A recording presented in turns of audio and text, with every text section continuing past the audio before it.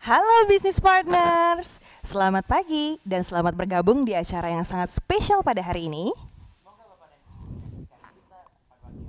Mana pun Anda berada, selalu dekat. Izinkan kami memperkenalkan diri terlebih dahulu ya. Saya Riana dan bersama rekan saya, kami akan menemani Anda selama kurang lebih 90 menit ke depan dalam acara BDO Tech Talk.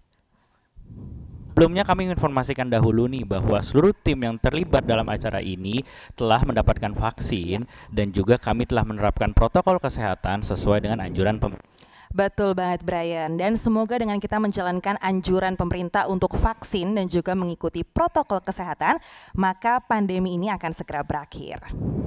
Amin. Riana gimana nih kabarnya Ri? Aduh, kabar baik alhamdulillah Brian. Brian gimana nih? Kayaknya seger banget nih pagi ini nih. Puji Tuhan ya. Mhm. Pagi hari ini kita udah siap nih Mhm. para partner di acara video text talk. Bener banget Brian. Jadi hari ini akan ada sesi video text talk yang kedua ya Brian ya. Ya, betul sekali. Pertama-tama kita mengucapkan terima kasih Mhm. kepada antusiasmenya para bisnis partner di video text talk pertama Betul. sebelumnya. Terdapat lebih dari 600 bisnis partner yang Hmm. join di aplikasi Zoom kemarin kita Hmm. nih Ri. Banyak banget ya Brian ya. Pastinya. Kemudian juga video kita di YouTube nih udah Mhm. lebih loh ditonton 1200 kali. Wow, terima kasih banyak bisnis partners ya Terima di mana pun kasih. anda berada. Keren banget pastinya Brian. Nah, Nah. hmm. Pada hari ini eh, ada apa nih Ri? Nah ngomong-ngomong nih kita kan eh, tadi kan udah bilang ya pasti akan ada bis, eh, video talk selanjutnya yang kita akan membahas eh, materi lain nih Brian Iya. nih. Oke. Nah, Mhm. Sekarang kita mungkin akan bahas tentang video kali ya, karena kan kayaknya perlu banget nih mungkin bisnis partners ingin tahu nih video ini tuh kantornya tuh di mana gitu kan. Betul. Bisa dijelasin mungkin Brian? Oke, kita jelasin lagi kali ya. Betul. Untuk- Jadi video sendiri ini merupakan salah satu jaringan firma angkutan publik dan Mhm. konsultan terbesar di dunia. Oke. Saat ini BDO telah memiliki lebih dari 1.600 kantor di 176 negara di seluruh dunia. Oke, nah untuk di Indonesia sendiri kita berkantor pusat di Jakarta Selatan, Ya. tepatnya di Prudential Tower, Jalan Jenderal Sudirman, Ya. dan telah memiliki cabang di beberapa kota besar seperti di daerah Ca- eh, Jakarta Selatan, Jakarta Barat, Jakarta Utara, Bandung, Yogyakarta, dan juga Surabaya. Oke, untuk servisnya sendiri nih, Ri, Mhm. BDO di Indonesia siap membantu di dalam bidang audit, Mhm. konsultasi bisnis, IT, risk, bisnis service outsourcing, penilai publik dan valuasi, konsultan keuangan, human capital and training, transfer pricing, dan tentunya perpajak. Lengkap banget Brian ya, berarti ya semuanya ada Pastinya. gitu ya. Jadi apa pun nih kebutuhan dari bisnis partners, BDO Indonesia siap membantu. Siap Brian. Nah jadi nih ya, sebenarnya pagi ini kita akan mau bahas apa nih? Oke, jadi pada video TikTok hari ini Hmm. nih, Ri, topiknya nggak kalah seru sama video TikTok Ya. sebelumnya, yaitu tentang transfer pricing. Oke, ini banyak banget yang penasaran pasti transfer pricing apa ya? Pastinya. Transfer pricing ini kan salah satu topik yang menarik ya di Mhm. perpajakan. Nah, nantinya kita akan ada pembahasan mengenai tahapan pemeriksaan di dalam Mhm. transfer pricing, perkembangan terkait transfer pricing itu sendiri, serta peraturan transfer pricing dan impactnya dari undang-undang harmonisasi perpajakan kemarin. Oke, nah lalu setelah nanti narasumber memberikan penjelasan tentang materi-materi tersebut, kita Ya. akan ada sesi diskusi lagi. Nah, jadi untuk Bapak dan Ibu juga dapat bergabung dalam eh, sesi diskusi kami dengan Ya. mengirimkan pertanyaan melalui kolom Q&A dengan format nama, spasi, pertanyaannya. Oke, nanti di akhir acara nih, Ri, Mhm. Pastinya akan ada games interaktif. Wih, ini yang ditunggu-tunggu pastinya. Iya dong. Nah, nanti Bapak dan Ibu nih bisa mengikuti ya games interaktif tersebut. Mudah aja, Mhm. games itu nanti akan membahas seputar pertanyaan dan materi kita pada pagi hari ini. Jadi Bapak dan Ibu nih cukup stay tune aja sampai di akhir acara. Bener banget Brian. Jadi semuanya harus stay tune sampai dengan akhir acara karena akan ada hadiah menarik nih bagi Iya. pemenang gamesnya. Ada 10 hadiah Wow. untuk 10 orang dengan skor yang tertinggi. Iya. Dan sebagai informasi juga bagi rekan-rekan yang tidak bisa bergabung di Zoom, bisa juga menyaksikan acara kita ini di channel YouTube-nya BDO in Indonesia. Oke Lari, jadi tanpa berlama-lama lagi nih, Mhm. kita langsung masuk aja ya ke pembicara pertama kita yaitu Pak Hari. Pak Hari merupakan salah satu tax partner BDO di Indonesia. Pada sesinya kali ini, beliau akan menjelaskan mengenai tentang pemeriksaan di dalam satu transaksi transfer pricing dan juga tahapan-tahapan yang menarik Oke. banget nih Ari ya. Mhm. Oke, jadi untuk Pak Hari, kami persilahkan.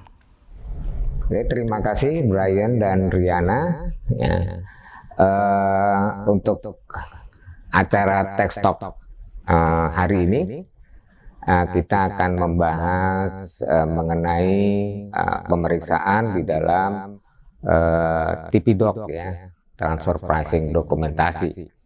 Ya, jadi di sini apa saja sih ya uh, aktivitas yang dilakukan oleh uh, fiskus baik AR maupun pemeriksa dalam proses pemeriksaan. Ya. Jadi uh, fiskus atau pemeriksa baik AR mau uh, AR dan pemeriksa ya uh, itu uh, bergerak dari informasi yang ada di dalam SPT ya. Kemudian dia menguji uh, apakah ada dokumentasi ya uh, proses penerapan prinsip uh, kewajaran ya atau juga dikenal dengan PKKU, prinsip kewajaran dan kelaziman usaha. Yang ini didokumentasi dengan benar atau enggak. Kemudian dia ingin mengecek seberapa jauh uh, dokumentasi ini memang sinkron dengan konsep ex ante. Ya. Oke, jadi di sini tadi uh, uh, saya mengungkapkan ada tiga tahapan besar ya. Jadi pertama adalah dikenal dengan tahap satu, yaitu pengujian formal. Ya. Ini bisa dilakukan oleh uh, account representative ya. Uh, biasanya di sini informasi-informasi uh, yang ada di SPT coba direkapitulasi ya. Kemudian uh, dia masuk ke tahap kedua. Nah, ini tahap kedua biasanya sudah menjadi ranahnya pemeriksa. Nah, pemeriksa itu akan melakukan analisis pendahuluan ya. Nah, ini disebut dengan tahap kedua. Nah, setelah ada analisis ta eh, tahap pendahuluan, baru eh, pemeriksa akan masuk kepada analisis yang mendalam di tahap ketiga. Ya. Oke, sekarang saya akan membahas lebih jauh uh, mengenai uh, tahap pertama ya. Di sini adalah penelitian formal. Ya. Jadi kalau Bapak Ibu uh, mengingat bahwa di dalam induk SPT di butir 16 itu ada checkmark apakah ada transaksi uh, hubungan istimewa.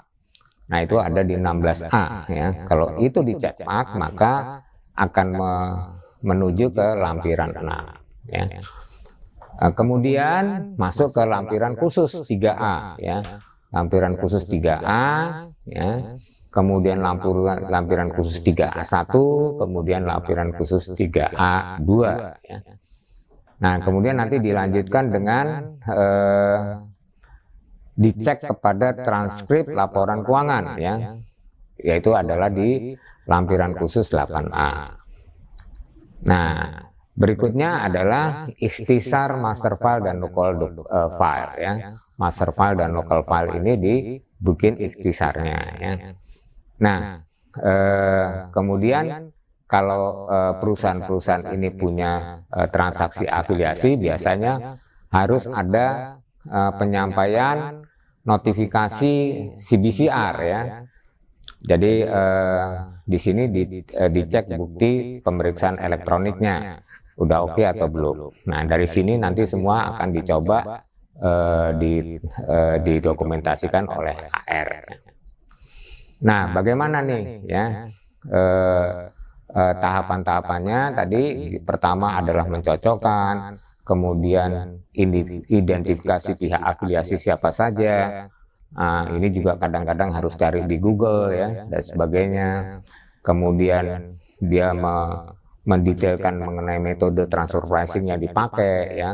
apakah CAP, TNMM uh, dan seterusnya ya. kemudian setelah itu baru dia meminta uh, transfer pricing dokumentasi ya. apakah comply dengan atau sudah mengikuti uh, ketentuan yang ada di PMK 213 ya.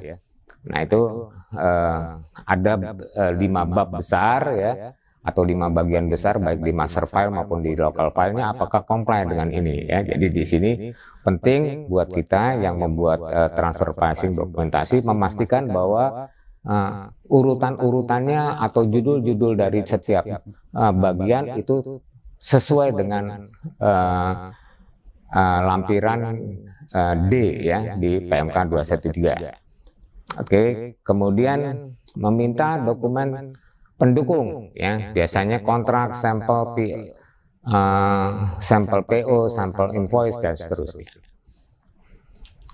Nah, khusus untuk tahun 2020 ya, ada hal yang khas ya, yang baru yaitu bahwa di sini harus ada uh, dokumentasi namanya tahapan pendahuluan.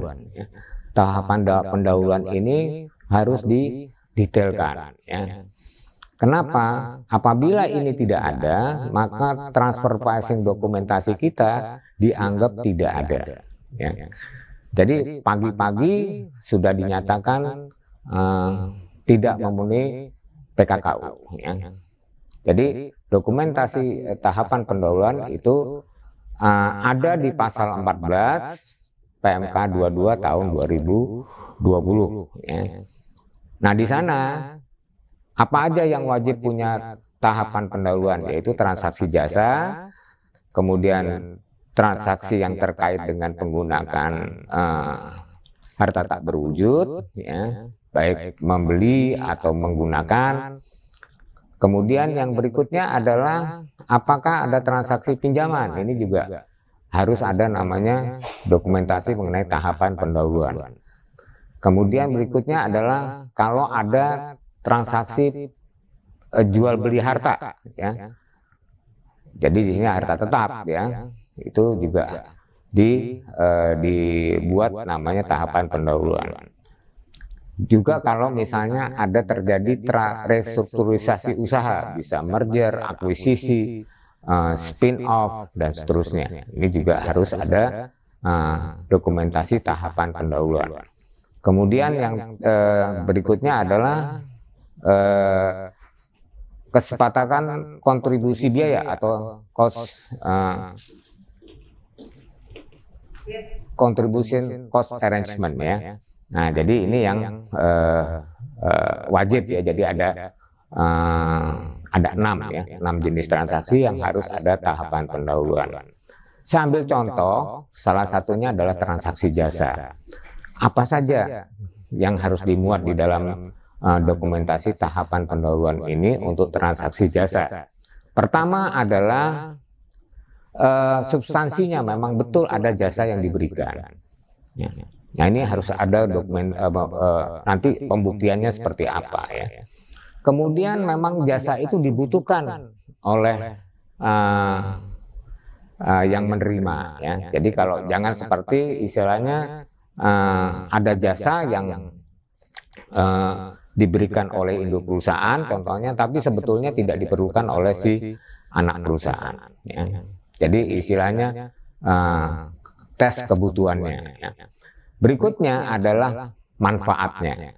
Apakah manfaat dari uh, jasa tersebut uh, bagi si penerima jasa? Ini harus dibuat deskripsinya. Berikutnya adalah apakah ini kegiatannya merupakan aktivitas pemegang saham? Ya. Nah ini harus dinyatakan bahwa ini bukan uh, aktivitas pemegang saham. Ya. Jadi macam-macam pemegang uh, aktivitas pemegang saham misalnya uh, membuat uh, laporan keuangan uh, berdasarkan GAAP ya. Sedangkan di Indonesia yang diterapkan adalah konsepnya uh, menginduk pada IFRS ya. Seperti itu ya. Jadi uh, kenapa harus ada GAAP ya? Nah, itu keuntungan untuk induk perusahaan yang ada di Amerika. Nah, ini uh, charge jasanya itu nggak boleh ya. Berikutnya adalah uh, bukan semata-mata karena bagian dari grup ya, bukan semata-mata bagian dari grup. Ambil contoh dia di grup ABC. Nah, kemudian karena dia di grup ABC kemudian langsung customernya langsung banyak padahal perusahaannya baru buka. Nah, ini juga nggak boleh di charge model-model seperti ini ya. Jadi nggak ada tuh jasa seperti itu. Memang dia anggota grup ya anggota grup. Kemudian berikutnya adalah uh, bukan duplikasi jasa ya. Jadi duplikasi jasa juga nggak boleh. Misalnya kata uh, induk perusahaan mencat jasa accounting, padahal di perusahaan itu sendiri, di anak perusahaan punya uh, aktivitas melakukan kegiatan accounting ya. Kemudian berikutnya adalah uh, bukan merupakan uh, jasa yang sifatnya insiden, uh, insiden ya. Jadi ambil contoh misalnya kebetulan bikin promosi ya. lewat uh, apa? IG ya. Nah, masuknya adalah di kawasan Indonesia Timur ya, tapi eh, ma ma ma mohon maaf sambil contoh Indonesia bagian barat, tapi customer yang di Singapura uh, uh, ikut juga uh, memesan produk dia misalnya seperti itu. Nah, ini yang sifatnya adalah uh, insiden ya seperti ini. Nah, kemudian induk perusahaan uh, mencas untuk hal ini. Nah, itu juga tidak boleh ya. Kalau memang untuk di Indonesia bagian barat ya, untuk Indonesia bagian barat nah catnya di situ saja.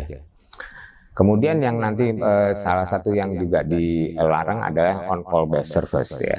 On call service kalau memang buat induk perusahaan ya memang sewaktu-waktu bisa diganggu ya gitu. Nah, nah, kemudian uh, sekarang kita masuk ke tahap kedua, ya. Di tahap kedua ini ranahnya adalah ranahnya si pemeriksa, ya. Jadi lebih dominan pemeriksa di sini. Ya.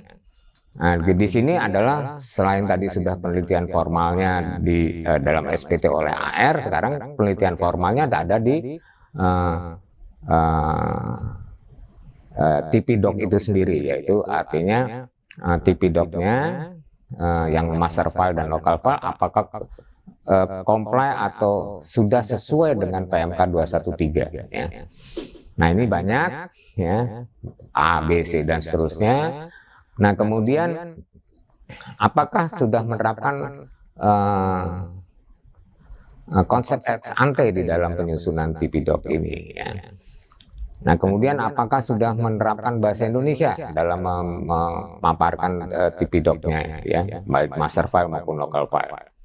Jadi uh, khusus untuk yang perusahaan-perusahaan yang uh, mendapat izin menggunakan bahasa Inggris, ya, maka uh, pembuatan TV doc dalam bahasa Inggris dibolehkan namun harus didampingi dengan terjemahan dalam bahasa Indonesia di uh, sebelahnya. Ya. Kemudian yang berikutnya adalah uh, surat pernyataan tersedianya Tipidok ditandatangani oleh pembuat Tipidok ya. Ini yang harus di uh, ini kan ya, disiapkan. Ini adalah formal-formal dari PMK 213. Nah, kemudian apa yang dilakukan lagi oleh si pemeriksa? Ya. Kemudian dia mencoba melakukan analisis di uh, industrinya ya. Kalau di industri kertas seperti apa? Industri uh, uh, sawit seperti apa ya. Nah, itu dilihat apakah lagi rame atau lagi uh, apa? Uh, uh, sedang kurang bagus ya pada tahun tersebut. Nah, itu kita coba lihat. Kemudian uh, melakukan apa yang namanya ya? Uh, delineasi ya. Artinya memberikan paparan-paparan yang lebih detail ya. Apakah ada uh, dalam konteks transaksi afiliasi ini berkaitan dengan jual beli barang? Itu disebut dengan hubungan komersil. Kemudian apakah ada urusan uh, keuangan, ya misalnya pinjam meminjam, asuransi, uh, penjaminan dan seterusnya itu adalah dimasuk dalam ranah hubungan uh, keuangan. Ya. Nah ini apa namanya dokumen apa kegiatan yang dilakukan oleh pemeriksa. Berikutnya adalah pemeriksa akan mencoba mengakses exchange of information ya yang yang sekarang dipunyai oleh uh, Direktorat Jenderal Pajak. Jadi demikian banyak uh, informasi ini. Nah ini coba dicari uh, informasi yang terkait dengan uh, wajib pajak.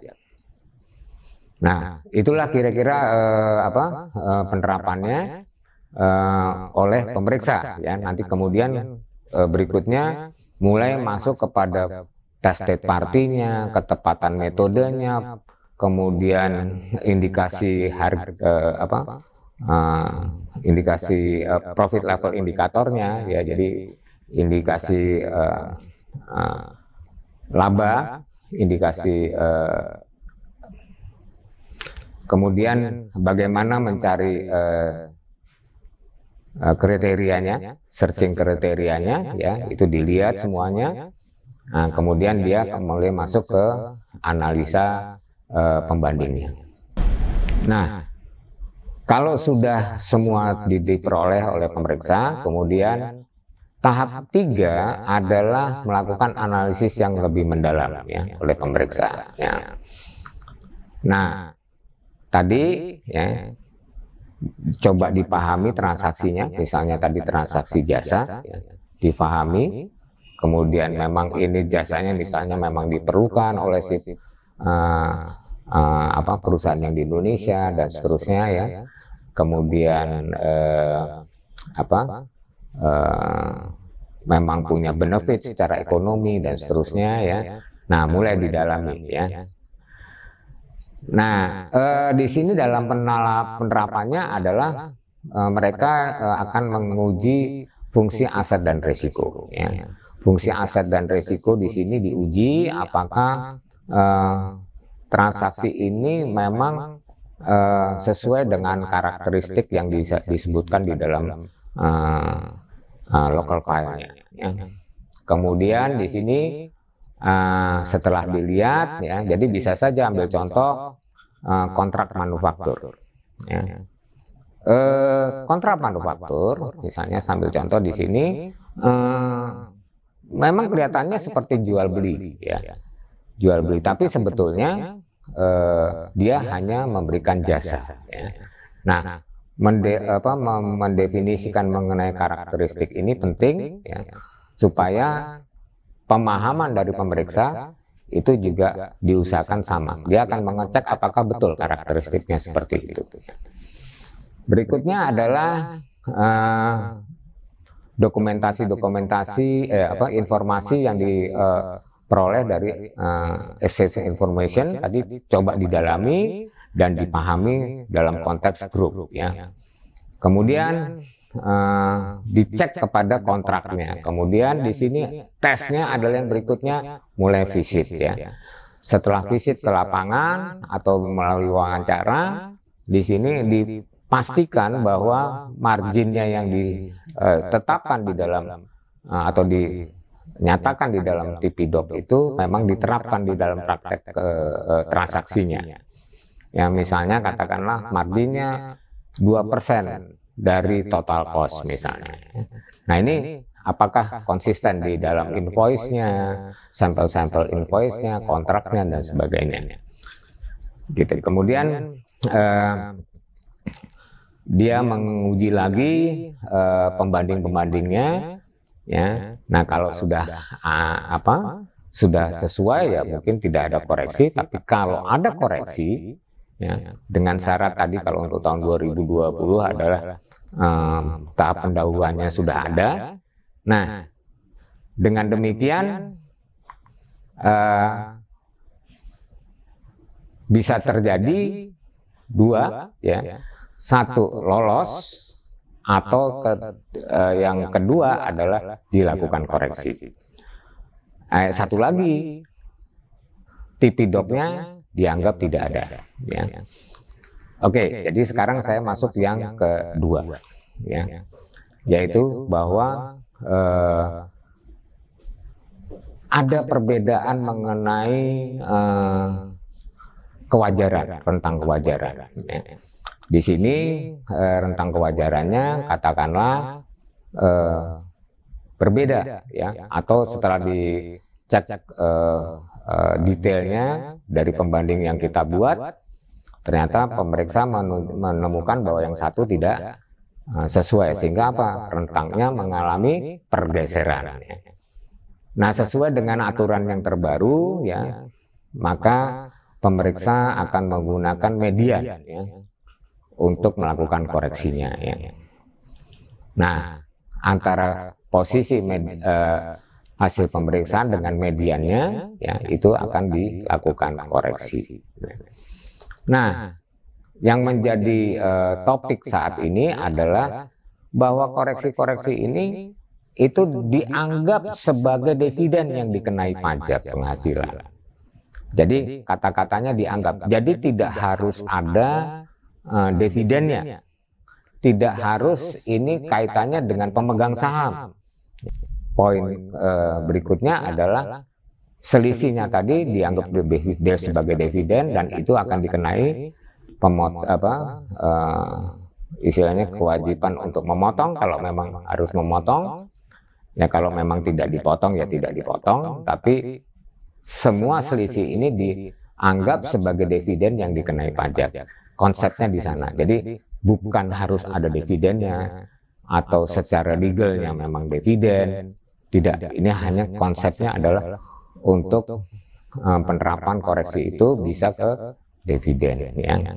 Itu ada di pasal uh, 22 di ayat 8 ya. PMK 22. Mungkin itu yang uh, ingin saya sampaikan uh, dalam kesempatan ini. Ya. Nah, sekian dari saya, saya kembalikan kepada Brian dan Rian.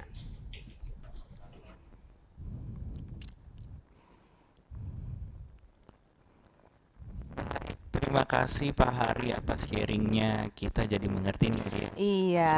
Di, uh, pemeriksa. Betul banget. Nah, Brian, untuk pembicara selanjutnya adalah Pak Untoro. Beliau juga merupakan tax partner BDO di Indonesia. Kali ini beliau akan memaparkan perkembangan peraturan terkait transfer pricing dari waktu ke waktu serta update peraturan transfer pricing berdasarkan perubahan dalam Undang-Undang Harmonisasi Peraturan Perpajakan. Dan untuk Pak Untoro, kami persilahkan. Oke, uh, selamat pagi uh, Bapak Ibu. Uh, terima kasih kepada uh, Mbak Riana dan Brian atas waktunya. Uh, untuk kesempatan ini ya saya ingin uh, sedikit um, membahas terkait dengan isu-isu transfer pricing ya. kemudian hubungan dari aturan-aturan uh, itu kepada wajib pajak Mungkin kita berangkat dari slide pertama ya. Nah, di slide pertama ini uh, kita bisa melihat uh, sejarah dari aturan-aturan transfer pricing di Indonesia.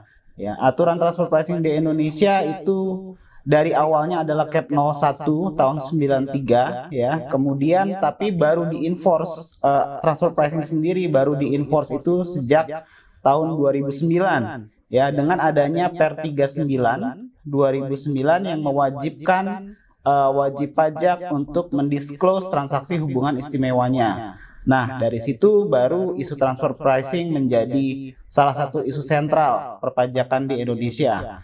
Uh, seperti kita lihat uh, di slide ya, seperti kita lihat di slide bahwa uh, sejak 2009 itu peraturan transfer pricing sudah uh, berkembang pesat ya. Hal itu juga sejalan dengan perkembangan dari isu internasional tax dan uh, transfer pricing sendiri di luar ya.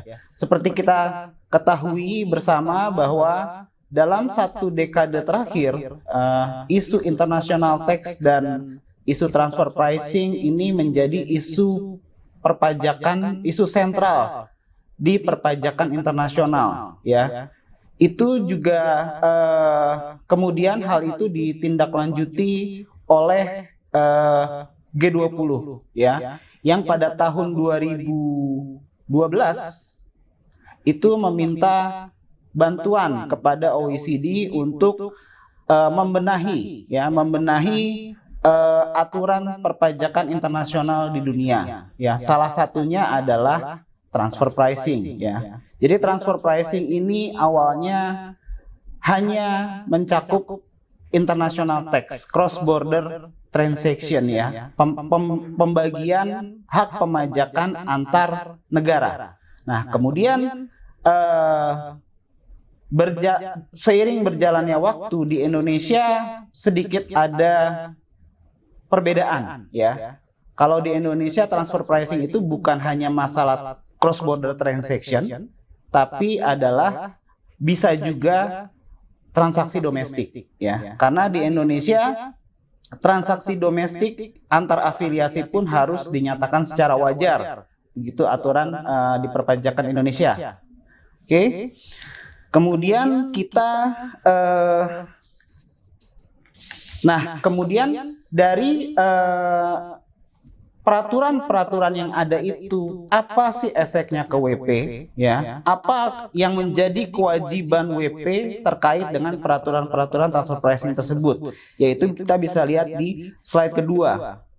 Ya dengan adanya segitu banyak peraturan uh, transfer pricing yang ada di Indonesia apa sih kewajiban WP Disyaratkan menurut peraturan pajak bahwa WP membuat suatu transfer pricing documentation, ya, suatu transfer pricing documentation untuk menilai apakah transaksi afiliasi yang mereka lakukan sudah dinyatakan dengan harga yang wajar. Ya, harga di sini tidak serta merta harga kalau di transfer pricing ya, karena harga itu bisa direfleksikan dalam profit juga. Jadi analisis transfer pricing pun juga bisa di harga atau bisa di profit seperti itu. Profit atau harga yang wajar seperti itu. Nah, kita lihat di slide kedua uh, aturan transfer pricing documentation yang uh, mengikat wajib pajak di Indonesia saat ini masih mengacu kepada PMK uh, 213 2016 ya. 213 2016. Di situ uh, mensyaratkan bahwa ada beberapa threshold ya beberapa threshold yang dijadikan parameter. kapan suatu wajib pajak itu uh, mempunyai kewajiban untuk mendokumentasikan ya mendokumentasikan atau menganalisis kewajaran transaksi afiliasinya dalam bentuk transfer pricing documentation. ya thresholdnya salah satu adalah ketika wajib pajak itu punya peredaran bruto lebih dari 50 miliar ya. Kemudian kedua ya dari transaksinya ya, dari transaksinya, transaksi afiliasinya. Apabila wajib pajak itu melakukan transaksi afiliasi berupa penjualan uh, sales tangible goods ya dengan nilai lebih dari 20 miliar atau transaksi-transaksi lain seperti transaksi jasa, transaksi pinjaman dan segala macamnya ya.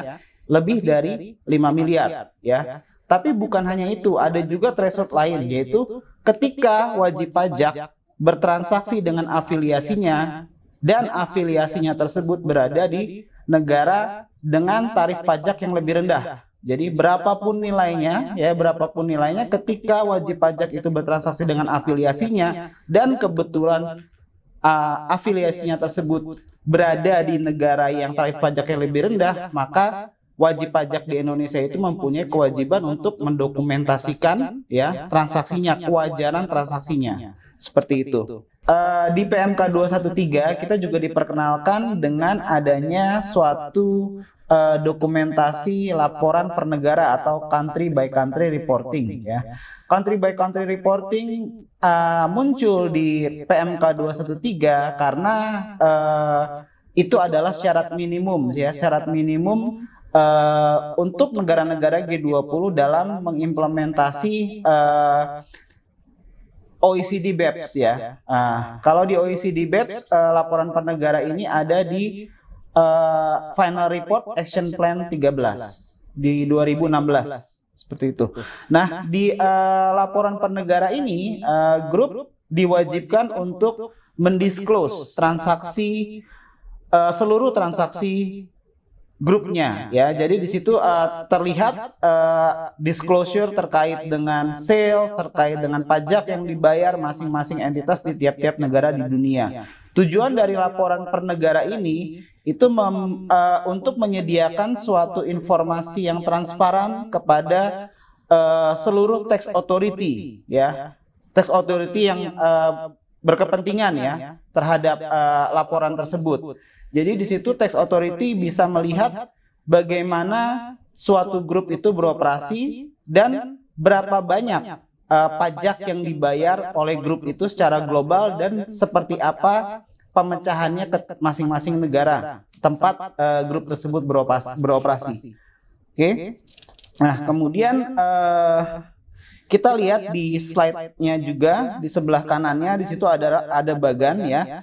Di sebelah kirinya adalah uh, kewajiban dokumentasi ya, dokumentasi yang dianut di Indonesia sekarang itu menganut three-tier approach. Jadi setiap wajib pajak wajib ketika dia punya kewajiban untuk mendokumentasikan uh, transfer pricing documentation dia harus membuat minimal dua dokumentasi yaitu dokumentasi lokal dan dokumentasi uh, master file ya dokumentasi induk. uh, atau master file. Nah, yang ketiga adalah ketika dia sudah melebihi threshold tadi 11 triliun ya, dia harus membuat country by country reporting. Oke, okay, di, uh, di di bagian yang sebelah kanan kita uh, melihat peraturan-peraturan yang diterbitkan oleh Dirjen Pajak terkait dengan pengaplikasian dari uh, analisis transfer pricing ya. Kita lihat yang sampai saat sekarang itu masih berlaku ya itu pedoman pengaplikasiannya ada di Per 43 Junto Per 32 2011 ya kemudian pedoman pemeriksaan uh, transaksi hub, uh, afiliasi transaksi hubungan istimewa itu ada di Per 22 2013 kemudian pedoman teknisnya ada di SE 50 2013 Oke, okay. uh, di tahun ini kita diperkenalkan dengan keluarnya undang-undang uh, perpajakan yang baru, yaitu Undang-Undang Nomor 7 uh, eh, tahun 2021 terkait dengan Undang-Undang PPH, ya harmonisasi peraturan perpajakan, Undang-Undang HPP kita menyebutnya ya.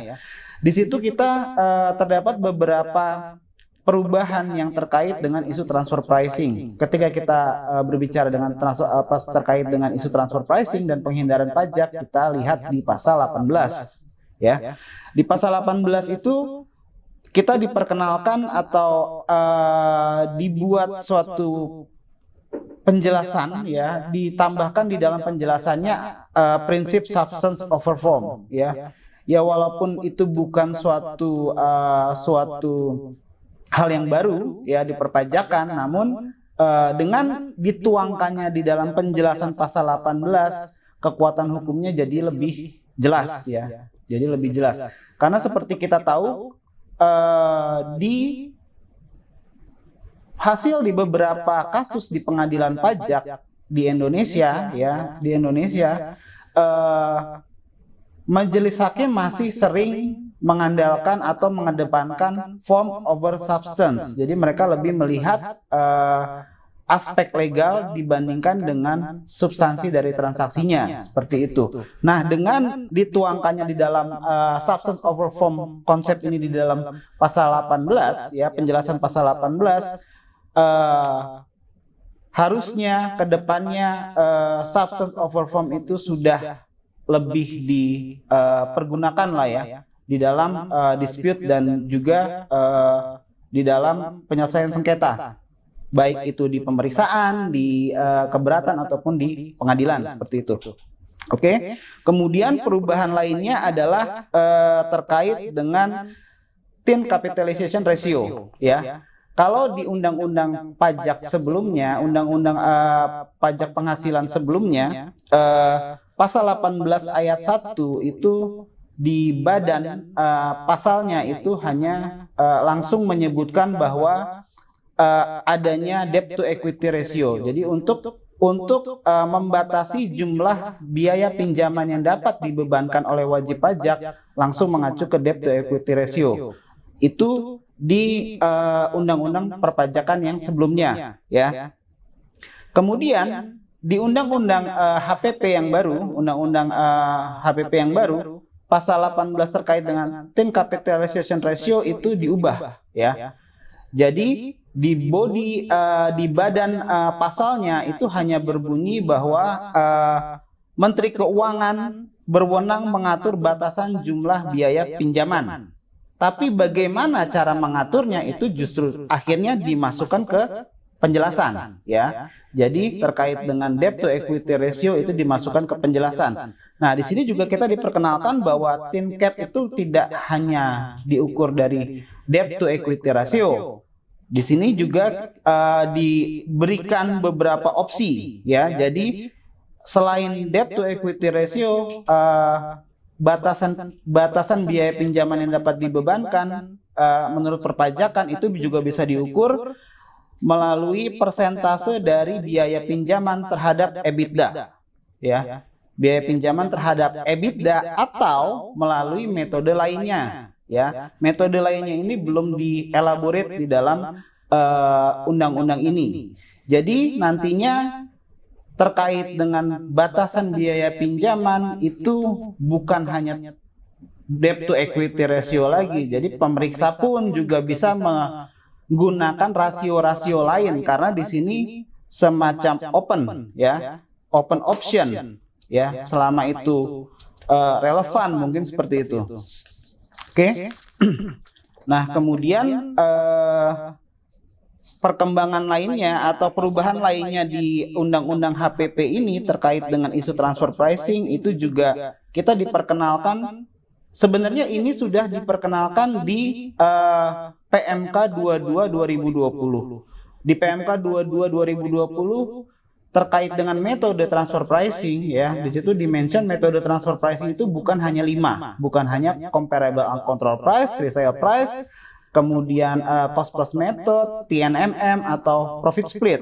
Di situ juga mulai diperkenalkan adanya metode lain yaitu di situ dijelaskan bahwa metode valuasi. Nah, akhirnya di Undang-Undang Harmonisasi Peraturan Perpajakan yang baru ini ya, metode-metode lain itu akhirnya dimasukkan ke dalam undang-undang ya. Di sini secara jelas bahwa ada selain dari lima metode yang sudah ada, itu ada metode-metode lain, yaitu salah satunya adalah metode, metode valuasi. Ya, impact dari uh, penambahan metode ini sebenarnya sangat besar karena selama ini setelah uh, bisa dibilang lebih dari satu dekade transfer pricing ini enforce di Indonesia, kita masih ada kesulitan untuk menganalisis transaksi-transaksi seperti transaksi uh, transfer intangible ya, transfer aset. Aset ini macam-macam ya, katakanlah asetnya aset inventory atau segala macam ya. Bangunan atau transfer bisnis. Nah, transaksi-transaksi itu itu sulit untuk dianalisis menggunakan lima existing method yang sudah ada di transfer pricing seperti itu. Pada umumnya untuk transaksi-transaksi tersebut memang dianalisis menggunakan metode valuasi. Ya, metode valuasi itu ada metode berbasis cost, berbasis income, ya income approach, cost approach atau juga perbandingan dengan harga pasar seperti itu. Nah, dengan dituangkannya akhirnya dituangkannya uh, penambahan metode di dalam undang-undang, ke depannya wajib pajak akan lebih uh, akan lebih firm ya, akan lebih uh, tahu bagaimana untuk menganalisis transaksi-transaksi seperti itu. Oke. Okay? Perbedaan lainnya uh, di uh, Undang-Undang HPP ini terkait dengan uh, penjelasan pasal 18 ayat 3 ya. Di dalam penjelasan uh, pasal 18 ayat 3 Undang-Undang HPP kita diperkenalkan dengan akhirnya dengan istilah benchmarking ya. Sebelumnya tidak pernah ada di Undang-Undang uh, pajak yang sebelumnya. Nah, di sini dijelaskan bahwa apabila wajib pajak uh, memiliki profit ya memiliki keuntungan lebih kecil ya dibandingkan dengan wajib pajak wajib pajak yang lainnya atau mengalami kerugian yang menurut Dirjen Pajak itu tidak wajar ya itu harus diperbandingkan. profitnya harus diperbandingkan dengan perusahaan yang sejenis ya untuk ini tujuannya itu uh, untuk perbandingan itu disebut benchmarking. Tujuannya apa? Ya nanti untuk menetapkan koreksi apakah ada koreksi atau tidak. Seperti itu. Nah, kemudian kita diperkenalkan juga di penjelasan pasal 18 ayat 3 terkait dengan secondary adjustment. Ya, secondary adjustment ini adalah adjustment uh, yang dibuat akibat dari adanya primary adjustment. Jadi contohnya apabila kita uh, harga jual kita dinyatakan katakanlah harga jual kita ini tidak wajar gitu ya. Ya.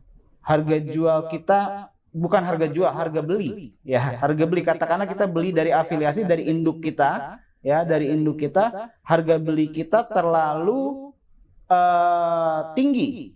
Ya. Terlalu tinggi. Nah, terlalu tinggi. Kemudian uh, DJP mengkoreksi, oh tidak, harusnya uh, harga belinya tidak sebegitu tingginya, ya. Nah, selisih dari yang menurut DJP wajar dengan harga beli actual kita itu dapat dianggap sebagai penyerahan dividen ke uh, shareholder kita seperti itu. Itu itu yang disebut secondary adjustment. Jadi adjustment pertama tadi adalah adjustment harga jual, harga beli. Kemudian adjustment kedua adalah adjustment dividen. Di sini dijelaskan bahwa bukan hanya adjustment dividen, tapi termasuk juga semua pajak terkait dengan dividen tersebut. Apakah terkait dengan apa namanya uh, atas penyerahan dividen dianggap penyerahan dividen itu ada PPH, ada withholding taxnya, ya PPH 26, ya dan segala macam seperti itu. Oke. Okay. Uh, kemudian di slide terakhir kita juga ingin uh, menginformasikan terkait dengan perkembangan terkini ya di uh, dunia perpajakan ya bahwa pada bulan Oktober 2021 G20 telah menetapkan pajak minimum global sebesar 5 persen, 15 persen ya. Jadi nanti uh, di forum tersebut itu semua negara G20 uh, secara konsensus setuju bahwa PPH badan mereka itu minimal 15 persen seperti itulah ya. Nah kemudian untuk mengimplementasikan ini itu nanti akan pada tahun dengan deadline tahun 2000, 2022 itu ada akan ada penandatanganan multilateral instrumen ya oleh uh, jurisdiksi yang menyetujui konsensus global tersebut. Nah, kemudian implementasi konsensus global yang akan diatur lebih lanjut dalam peraturan pemerintah atau PMK itu akan terbit di 2023 ya, ya roadmap-nya akan seperti itu. Ya, jadi ini sebenarnya tujuannya apa? Ya tujuannya untuk supaya tidak ada lagi gitu. negara yang apa uh, memberikan uh, menjadi pelabuhan ya pelabuhan tax haven untuk uh, apa namanya tax avoidance seperti itu. dengan adanya apa minimum tax rate. Nah, kemudian uh, perubahan yang lainnya juga itu ada di di Undang-Undang HPP itu ada di pasal 32A Undang-Undang HPP. Di sini uh, ditegaskan lebih uh, lebih komprehensif ya, lebih komprehensif terkait dengan uh, pemerintah itu terkait dengan perpajakan atau isu transfer pricing atau isu perpajakan internasional, uh, pemerintah itu bisa memanfaatkan beberapa channel ya bisa melalui uh, apa namanya perjanjian bilateral maupun multilateral ya. Oke, sekian penjelasan dari saya. Selanjutnya saya serahkan kembali ke uh, Riana dan Brian. Terima kasih. Baik, terima kasih banyak Pak Untoro untuk penjelasannya. Sungguh informasi yang sangat menarik ya. Kita jadi lumayan tahu nih ya, banyak banget uh, hal baru yang kita tahu tentang transfer pricing ya Brian ya.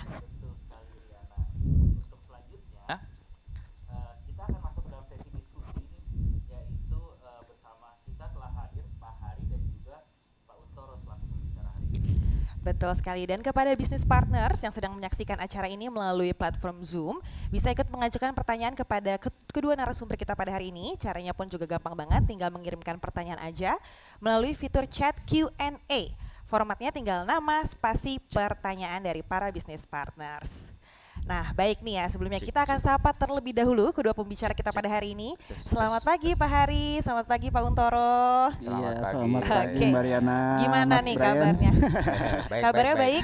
Cerah-cerah banget baik. ya Pak Hari ini, kayaknya semangat yeah. nih ingin memberikan informasi ya. Tadi betul, ini kita akan masuk ke sesi diskusi. Kebetulan Brian Pak Hari ini jauh-jauh dari Bandung loh, oh, Pak. Biasa ya. Khusus langsung ya mau memberikan informasi dan diskusi iya. kepada bisnis partner. Memang pembicara kita hari ini, Rini, mm -mm. semuanya luar biasa. Pak Untoro juga nih di sela-sela waktu yang sibuk Waduh. mau menyediakan untuk sharing Bet dan diskusi Betul kita pada hari banget. ini. Makanya jangan sampai disia-siakan ya sesi Betul. diskusi kali ini ya. Nah, iya. wah udah banyak banget nih pertanyaan iya. yang masuk ya Brian ya. Betul. ya. Oke. Okay. Uh, Riana sebelum mungkin kita masuk ke dalam sesi pertanyaan nih Hmm. kan dari tadi udah ngomongin berat terus transfer Mhm. pricing juga mungkin kita mau nanya dulu kali ya Iya, ke Pak Hari banget. dan Pak Untoro Ditahan Sebenar- dulu ya bisnis partner sebentar ya di Brian kepo banget nih soalnya nih. sebenarnya tuh transfer pricing sendiri nih dari Pak Hari dan Pak Untoro tuh pandangannya seperti apa sih karena kan banyak dari bisnis partner yang kayak challenging banget nih untuk transfer pricing ini Hmm. sendiri gitu loh.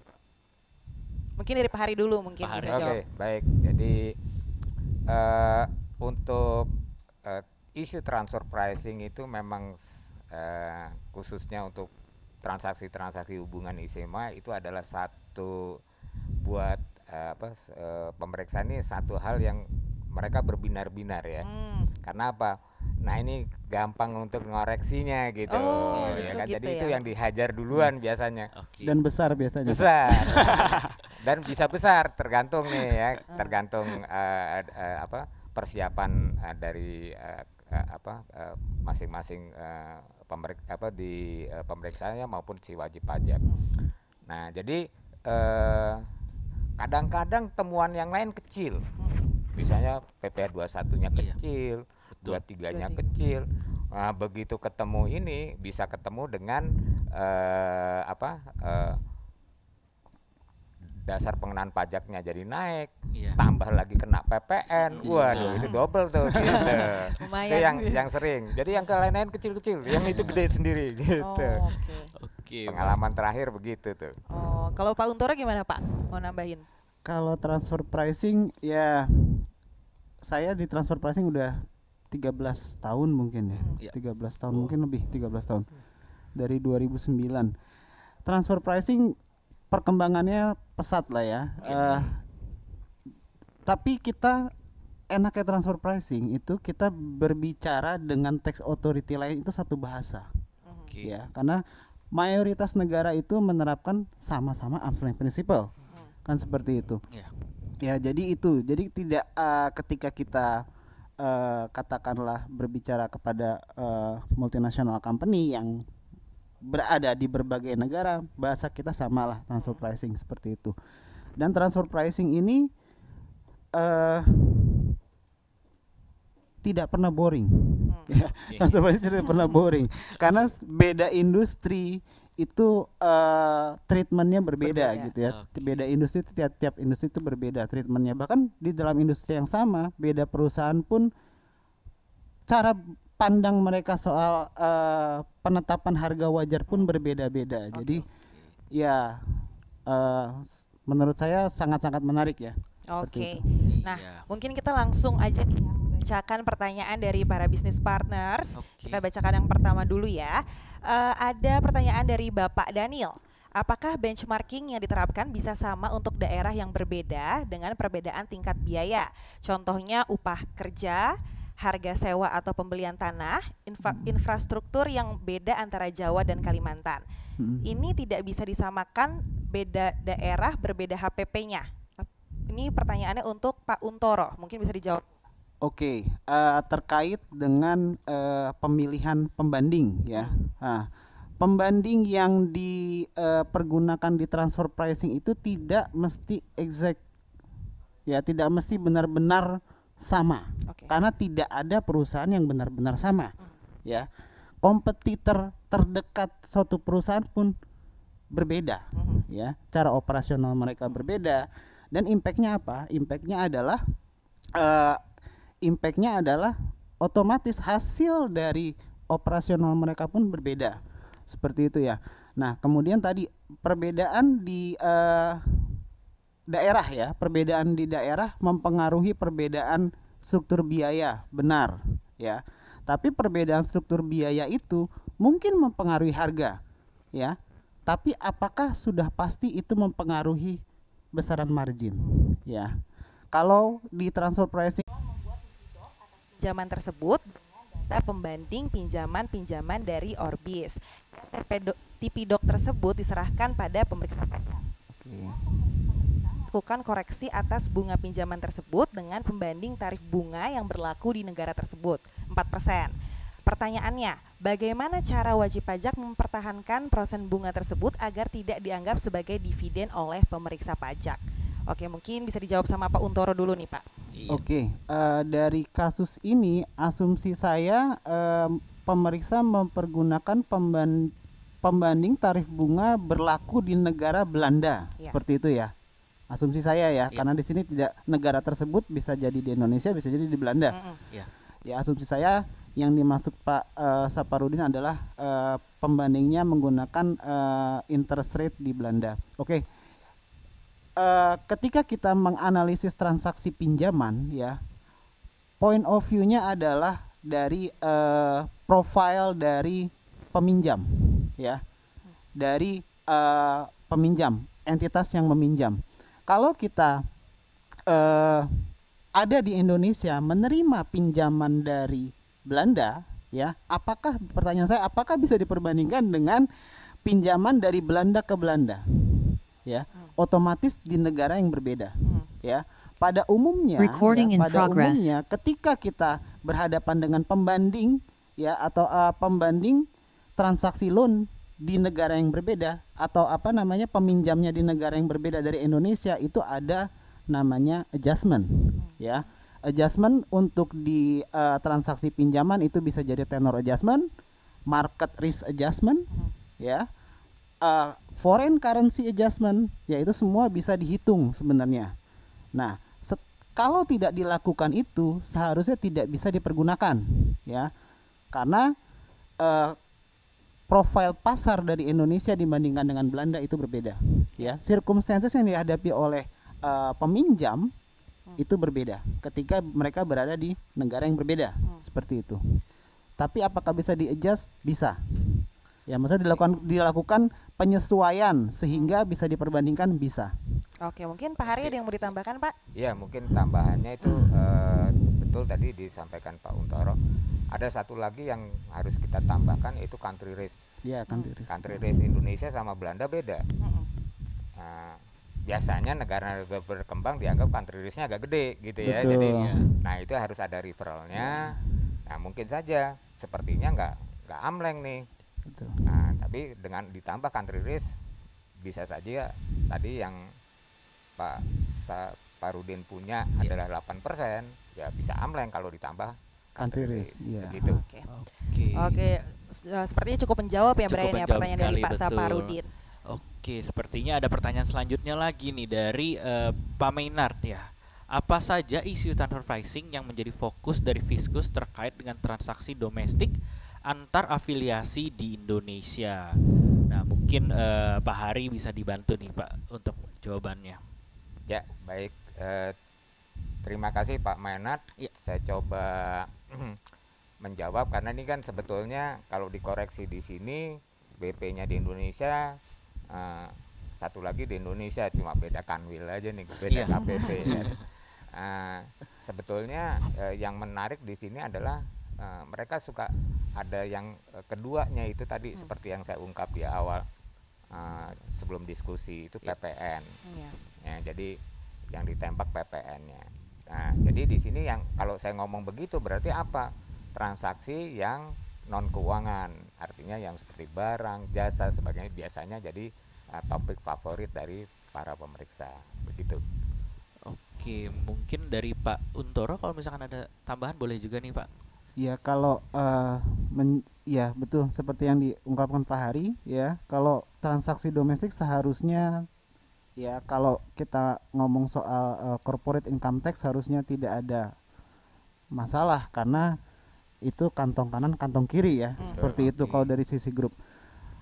Tapi tetap ada eh terkait apa yang menjadi fokus sebenarnya transaksi apa seperti apa transaksinya sih bermacam-macam ya cuman apakah pemeriksa masih banyak yang melakukan koreksi transaksi eh, afiliasi domestik masih Ya. ya masih banyak masih banyak melakukan ya apakah itu akan me- menimbulkan eh, double taxation di Indonesia bisa jadi seperti Betul, betul. ketika tidak ada corresponding adjustment ya Iya. tidak ada corresponding adjustment ya otomatis ada double taxation Yang menarik kadang-kadang yang di sana sudah keluar SKP duluan. Betul. Pak. Jadi Ya. susah gitu kan. ya Nah, Ribet. terus harusnya kan ada tuh prosedur bahwa eh, SKP-nya dibetulkan oleh KPP yang sana. Betul.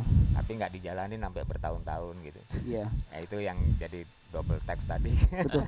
Sebenarnya DJP sendiri ini baru-baru ini ya baru eh, beberapa minggu ini saya eh, ngobrol dengan pihak eh, Dirjen Pajak. Ya mereka sebenarnya punya mekanisme untuk untuk Betul. apa namanya corresponding adjustment itu.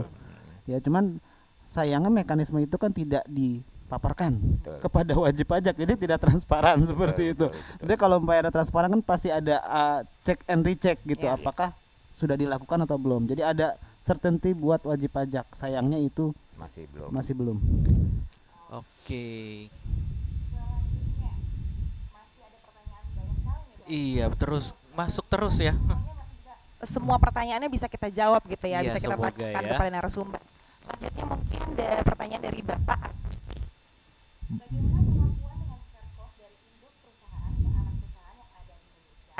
Karena sebagian kegiatan dari manajemen di perusahaan induk melakukan tugas untuk kepentingan anak perusahaan di Indonesia. Oke, mungkin boleh dijawab lagi nih, Untoro. Oke, ini terkait dengan manajemen fee, ya. Hmm. Manajemen fee itu eh, barang yang umumnya nggak besar, ya, tapi pembuktiannya sulit, ya. Kenapa pembuktiannya sulit, ya? Karena tidak mayoritas tidak didokumentasikan oleh perusahaan, ya.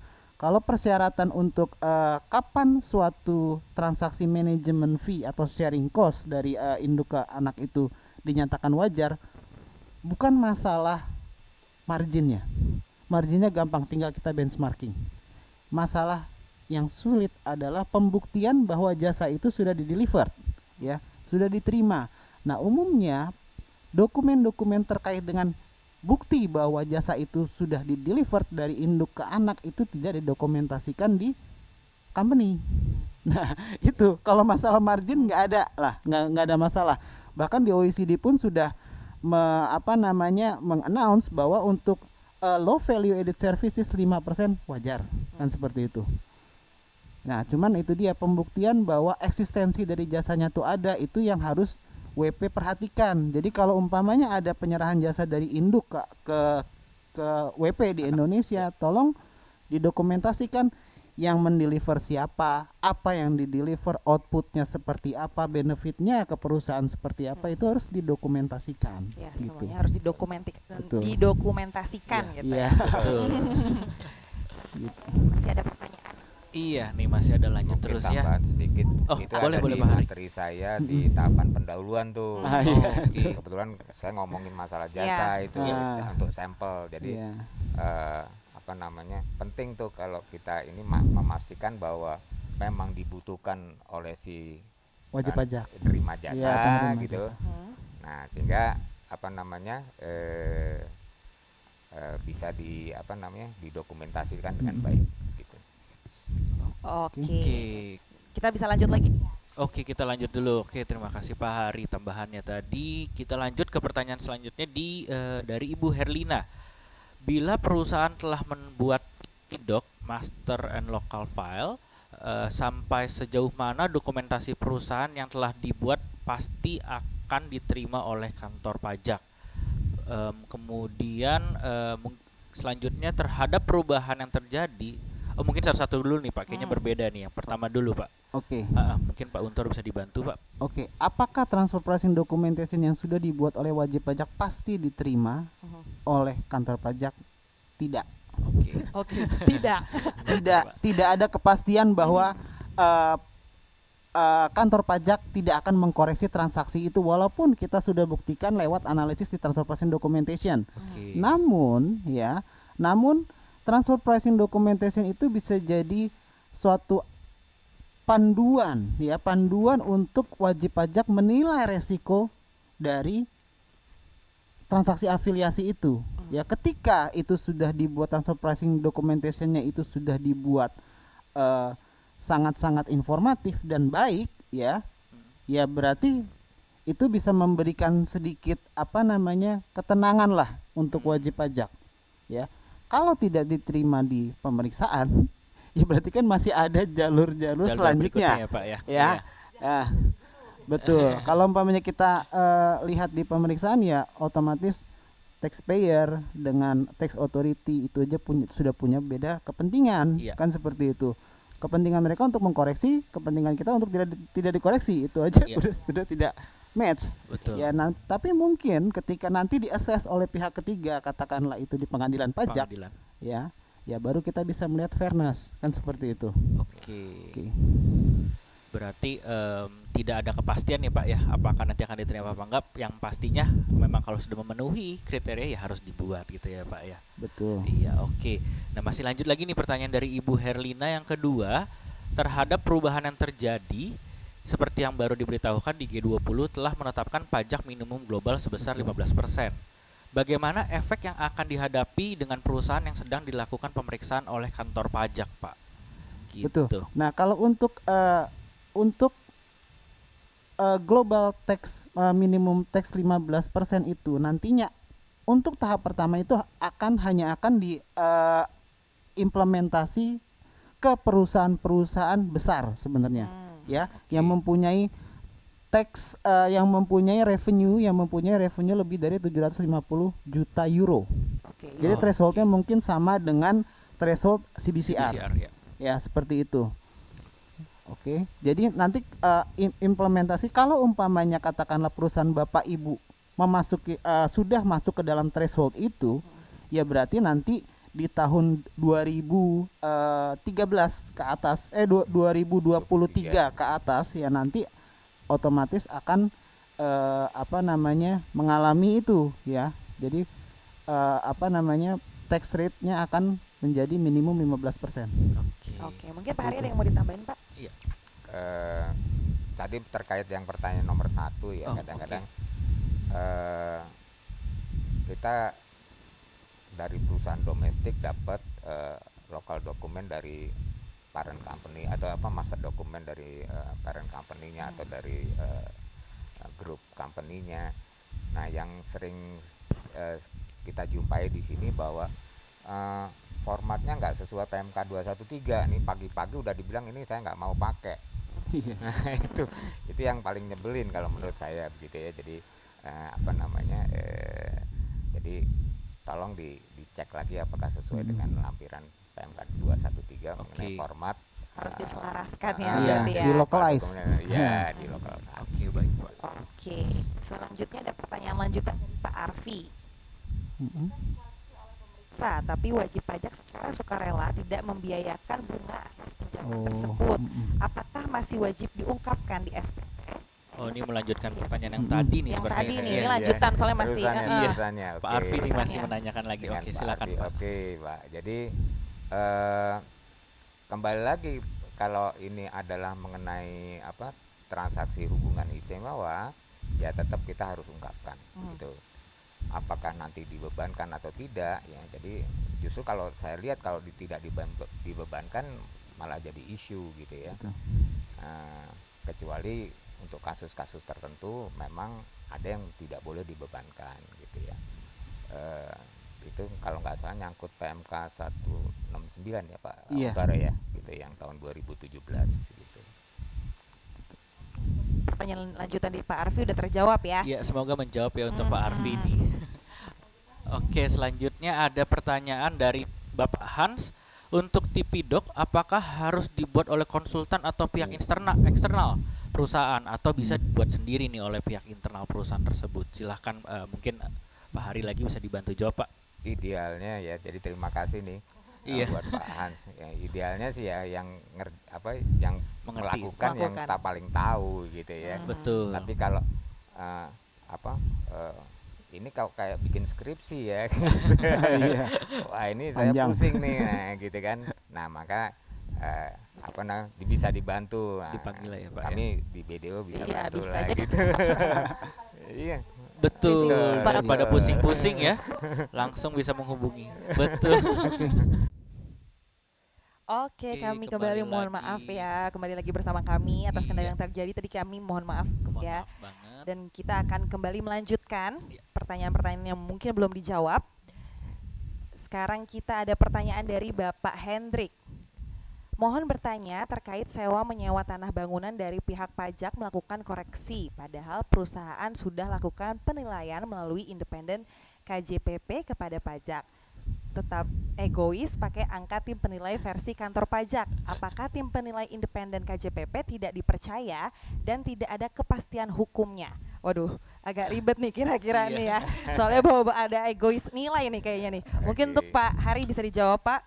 Oke, baik Pak Hendrik. Jadi eh, sebetulnya eh, keberadaan KJPP Mhm. adalah posisinya eh, dia independen Mhm. dan eh, perlu diketahui bahwa KJPP eh, penilainya itu kalau misalnya dia konflik of interest dia harus menolak eh, penugasan. Itu satu. Sehingga memastikan bahwa di, eh, opini yang akan dia berikan itu betul-betul terbebas dari konflik. Independen. Nah, kemudian di sini sering terjadi seperti ini ya. Nah, kemudian eh, kalau eh, hal ini sampai maju sampai ke tingkat pengadilan ya eh, biasanya nanti eh, majelis akan bertanya mengenai asumsi dari kedua penilai. Hmm. Jadi eh, di Direktorat Jenderal Pajak memang ada unit penilai ya Hmm. gitu memang seperti itu. Nah, di sinilah nanti eh, asumsinya kemudian eh, diuji eh, di eh, eh, apa diadu ya, Pak. Nah, kemudian nanti majelis yang akan menentukan. Oke. Nah, jadi eh, ini adalah lumrah ya. Jadi ya, posisinya penilai dari eh, eh, Direktur Jenderal Direktorat Jenderal Pajak menjadi kalau di dunia penilaian itu adalah eh, second opinion. Hmm. Second opinion. Nah, itu kira-kira eh, gambarannya. Oke. Selanjutnya masih ada nih kita kita percepat kali ya Oke, Brian kita ya supaya ya, semoga boleh. banyak eh, semoga pertanyaan-pertanyaannya pada kejawab nih sama Masih narasumber. antri soalnya ini pertanyaannya. Mm-mm. Oke, lanjut ke eh, dari Ibu Siti nih. Untuk BDO, apakah banyak WP yang berhasil atau menang dalam banding ke pengadilan pajak? Wah, ini Gimana nih? Recording in Gimana nih pengalamannya nih Pak Untoro? Apa Untoro. Pak Hari? Banyak. Boleh. Banyak. Jawabannya banyak. banyak. Ini banget ya. Betul. Confident bilang banyak. Iya. Banyak. Jadi, Ya kalau umpamanya dibanding karena kenapa? Karena dibanding seperti saya katakan tadi bahwa yang menilai kita adalah pihak ketiga Ya. seperti itu ya. Pihak yang seharusnya tidak punya kepentingan. Iya. Jadi kalau uh, apakah uh, track record kita bagus menang dibanding? Ya bagus. Bagus. Oke. banyak. Jadi pada Bu Siti bisa nih hubungi langsung Iya. video ya kalau mau. Jangan ragu-ragu lagi ya, Bu. Langsung aja. Oke, selanjutnya ada pertanyaan lanjutan. Oke, oke. Oh, dari pertanyaan yang berbeda ya, dari Bapak Lando. Untuk penggunaan database, apakah diatur atau ditentukan secara khusus oleh DJP, khususnya untuk menentukan perusahaan pembanding? Nih bisa dijawab sama Pak Hari mungkin Pak. Hmm. Eh, baik Pak Lando, jadi eh, pada prinsipnya Direktorat Jenderal Pajak tidak berani menentukan harus pakai eh, vendor-vendor eh, database ya. Mhm. Jadi di dunia ini banyak sekali yang eh, me- apa namanya memprovide eh, database.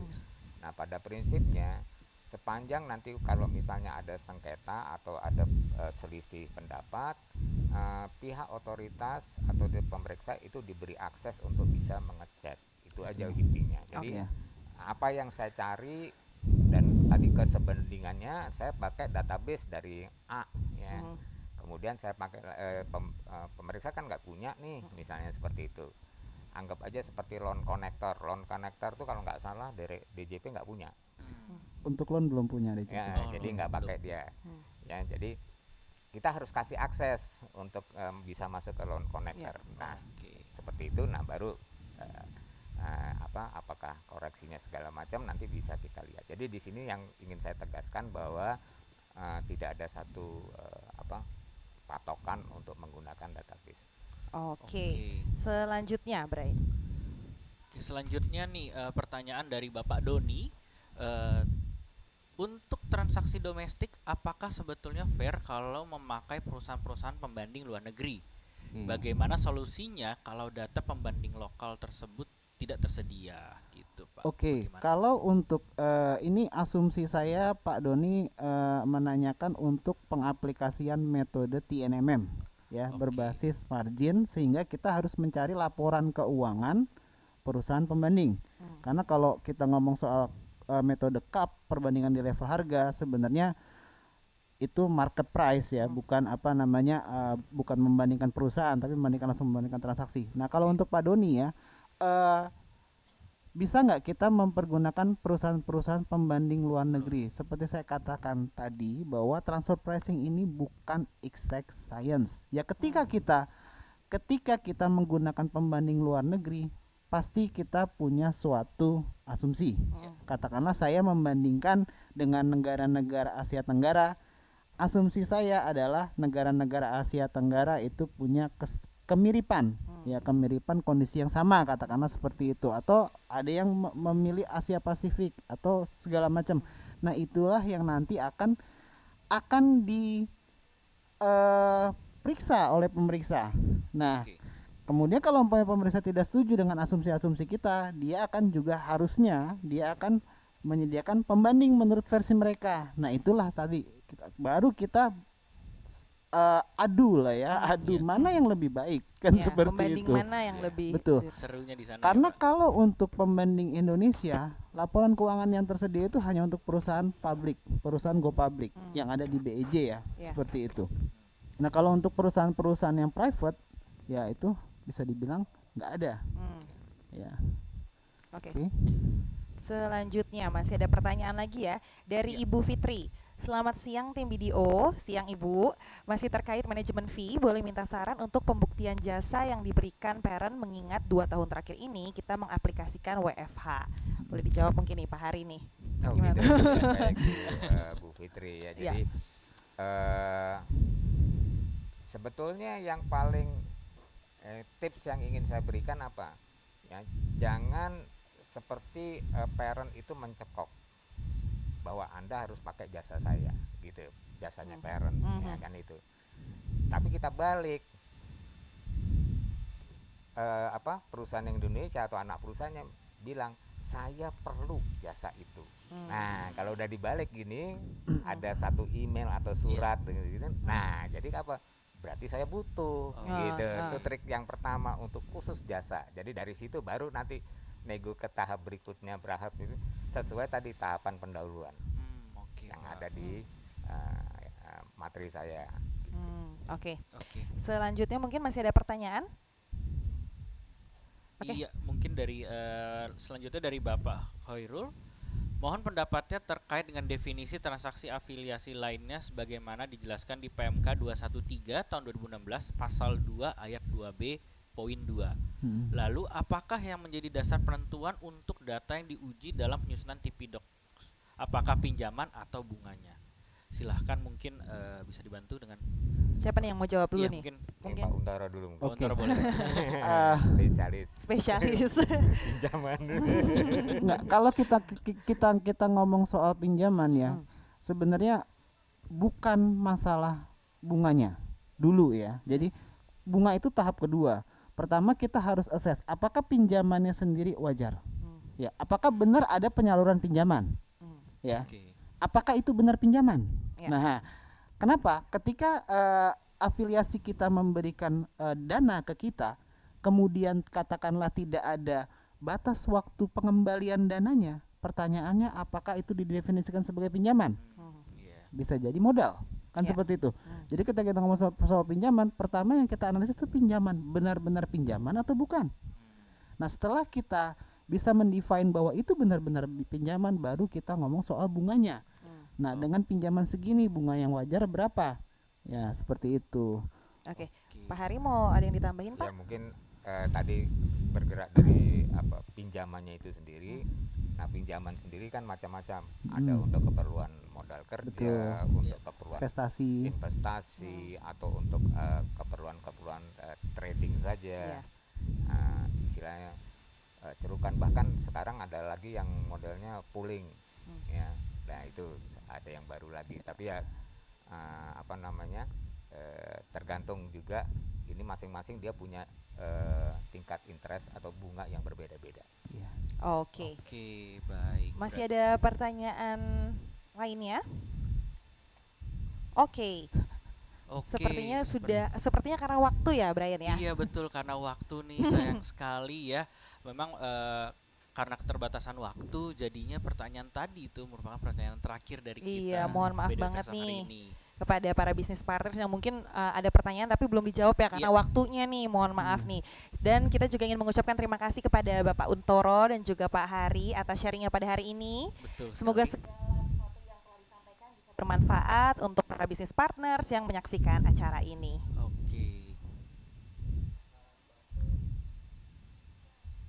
11 time zones. From Indonesia, Vietnam. qui s'adapte aux besoins des utilisateurs. What happened? The SEC is Looking for cooperation.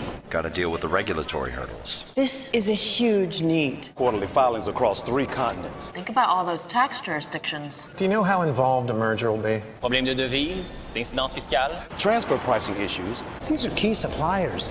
Qui va gérer tout ça? It's complicated, so we're going with BDO. We're bringing in BDO. BDO. BDO. BDO? BDO. People who know, know BDO.